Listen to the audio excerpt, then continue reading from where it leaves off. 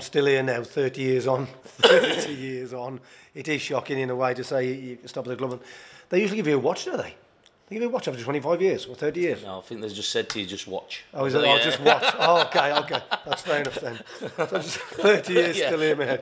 Still, well, employed on match days and vice president and doing my usual corporate stuff and whatever. And uh, I know you're upstairs as well and you're... Yeah, I'm doing the radio, so look the for the games. So look, I used to come to most of the home games anyway. You used to bring your boys, didn't you? Yeah, boys, two lads used to come. Um, other commitments as they get older, but um, yeah, I used to do every all the games home and away. Hmm. Um, I've really enjoyed it, to be fair. So it's been uh, two or three years that I've been doing it, and it's Yeah. been good. And it's uh, some good, some bad times watching, but uh, I bet you have to watch your, watch your Oh, words sometimes, don't you? bite me lip, especially sitting next to Mikey as well.